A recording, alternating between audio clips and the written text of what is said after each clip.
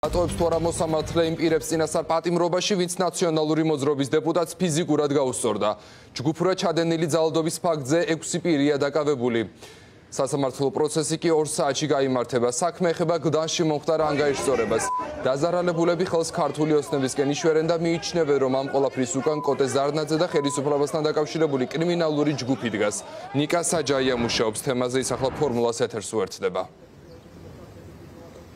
სანამ ექსპერტის აღკვეთ ღონისძიებასთან დაკავშირებით თბილისის საქალაქო სასამართლოში მსჯელობა გამართება ამ წუთებში ხდება დაზარალებულების გამოკითხვა. მოსამართლის თანდასწრებით ვინაიდან დაზარალებულები უარს აცხადებენ საგამოძიებო ორგანოებთან თანამშრომლობაზე და აღნიშნავენ რომ მათ ობიექტურობაში ეჭვიეპარებათ გამომდინარე აქედან არის მიღებული გადაწყვეტილება რომ მათი დაკითხვა მოხდება მოსამართლის თანდასწრებით. ამავე პროცესს პროცედურას დაესწრებიან თავად ბრალდებულებიც დაზარალებულები აღნიშნავენ რომ ეს იყო პოლიტიკური ნიშნით ანგარიშწორება და მუხარების ისინი 2020 წლის შემდგომ იღებდნენ ამავდროულად აცხადებენ იმასაც რომ ცდილობს ხელისუფლება განავითაროს ვერსია თითქოს ეს იყო პიროვნული დაპირისპირების შედეგად მოხდარი თავდასხმა რაც მათივე განცხადებით არ შეესაბამება სიმართლეს. ერთ-ერთი დაზარალებული რომელსაც ჩვენ პროცესის დაწყებამდე ვესაუბრეთ ეჭვობს რომ ეს იყო კარგად ორგანიზებული და ის არ გამორიცხავს რომ ამ პროცესში ჩართული ყოფილიყო სახელმწიფო უსაფრთხოების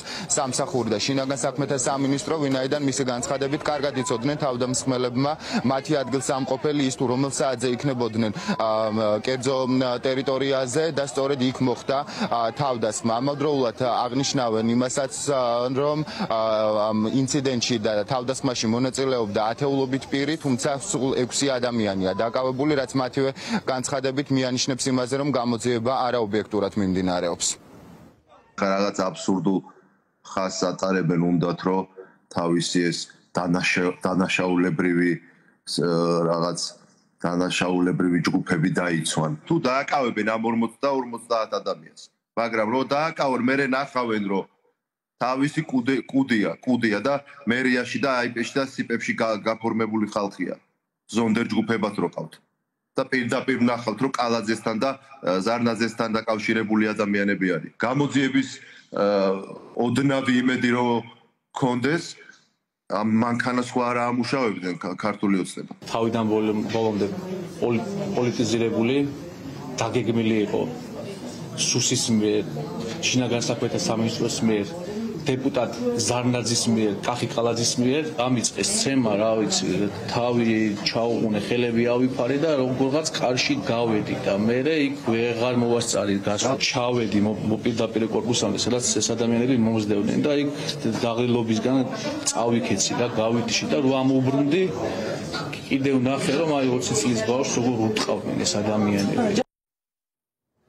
რაც შეეხება დაკავებული 6 პირის პოზიციას, ჯერჯერობით მათი პოზიცია არის უცნობი, ადვოკატთა დიდი ნაწილი არ საუბრობს მედიასთან და აცხადებს, რომ გასაჯაროება თავად ბრალდებულთა ინტერესებში არ შედის და მათ არ აქვთ უფლება, რომ მოგვაწოდონ პოზიცია, აღიარებენ თუ არა ისინი წაყენებულ ბრალს, თუმცა ადვოკატთა ნაწილი საუბრობს, რომ ეს არ იყო ჯგუფური თავდასხმა და ისინი ბრალის ამ ნაწილს არ ეთანხმებიან, მაგალითად ტატო ხუნდაძის ადვოკატს ვესაუბრეთ, რომელიც მიანიშნებს, რომ ეს იყო პიროვნული დაპირისპირება, ასევე ასევე საქმის პროკურორის ფორმულასთვის მიცემული ინტერვიუც არის საგულისმო რომელიც აღნიშნავს რომ დაპირისპირება გამოიწვია დაზარალებულთა მიერ დაწყებულმა სიტყვიერმა შეურაცხყოფამაც თუმცა პროკურორს პირდაპირ პასუხი არ აქვს იმასთან დაკავშირებით როგორ აღმოჩნდნენ ბრალდებულები იმ ადგილას ეს არის კერძო დაწესებულება ავტოფარეხის ტერიტორია სადაც იმყოფებოდნენ დაზარალებული და დაზარალებულები და როგორ დაიწყო ეს სიტყვიერი შეურაცხყოფა რაც სახელმწიფო ბრალდების პოზიციით გახდა უკვე თავდასხმა ხმის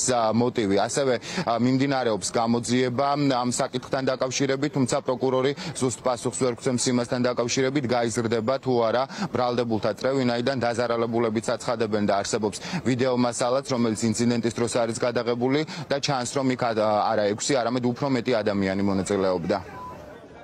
ვთვლი რომ ერთ-ერთი ღირსეული მოქალაქე მზად არის პასუხი აგოს თუ რაიმე მის კმენდებაში რაც მან დაწერა ყველაფერი რაიმე ბრალდების ნიშნებია. რაც შეეხება ბრალს აბსოლუტურად არ ვეთანხმებით.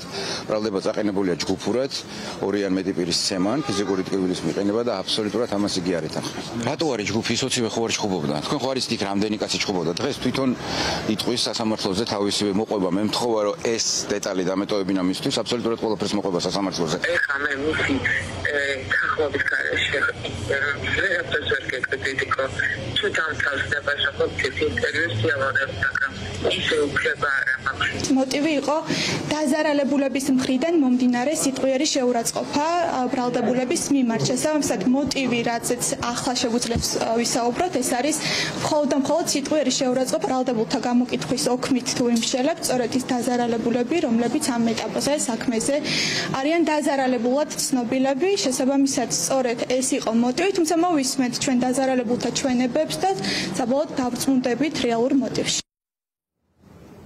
გაკეთებული კომენტარებიდან გამომდინარე დაცვის მხარის სტრატეგია შეიძლება ითქვას რომ არის ბრალის დამამძიმებელი გარემოება მოიხსნას ეს არის ჯგუფური თავდასხმა რაც უფრო ამძიმებს ბრალს და თუმცა ჯერჯერობით თქვა სხვა დაკავებულთა პოზიცია არის უცნობი ადვოკატის კომენტარი ეს არის სტატო ხუნდაძე რომელიც მუშაობს გლდანის გამგეობაში მისი იურისტია ერთადერთი რომელიც ღია დათანხმდა კომენტარს. ამ წუთებში მე მაყურებელს შევახსენებ რომ დაზარალებულთა გამოკითხვა იგეგმება უკვე 14 საათზე კი თბილისის საქალაქო სასამართლო სამართლომ ექვსივე ბრალდებული საქმეზე უნდა იმშელოს აღკვეთ ღონისძიებაზე. სახელმწიფო ბრალდება ამ შემთხვევაში მოითხოვს პირთა პატიმრობაში დატოვებას.